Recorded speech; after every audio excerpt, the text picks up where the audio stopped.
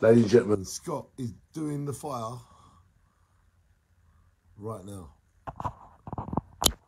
Scott, show us how you do it.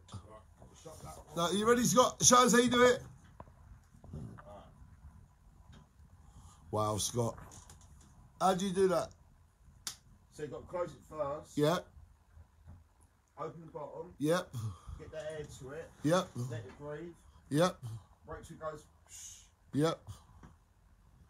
Shut the bottom. open the top, Yep. and presto. Wow. That's how you do it. A presto, yeah. That's how you do it.